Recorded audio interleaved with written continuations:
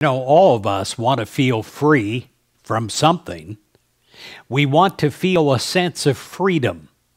That's what people long for in retirement. That's what people long for in a vacation freedom.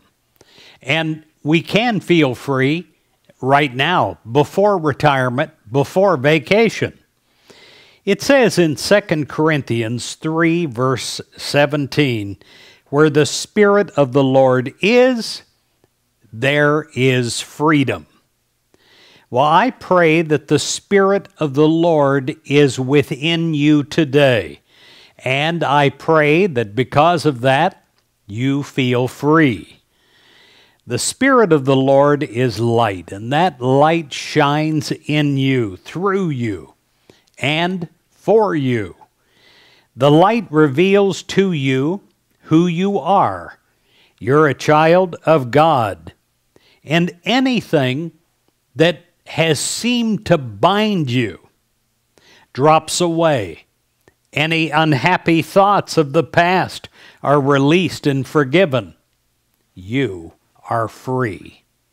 I'm going to repeat that. You are free. You have to accept that in prayer.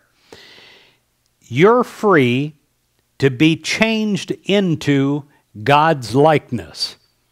The Spirit of the Lord is life. And that life, well, it will strengthen you, it will renew you, it will revitalize you, and it will perfect you. You know that you are God's perfect child. In any condition of the mind or the body that has limited you is now released. You're no longer bound or burdened. Your mind and your body are free and at peace. The Spirit of the Lord is order. You're established in that divine order, and any unwanted condition or unwanted habit, it falls away, leaving you with a new sense of well being, leaving you in satisfaction and happy fulfillment. You're free in spirit, mind, and body.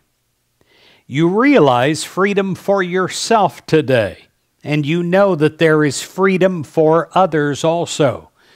Those dear ones that you're praying for today, that you're concerned about today, they are in God, and therefore they have the full capacity of also realizing freedom.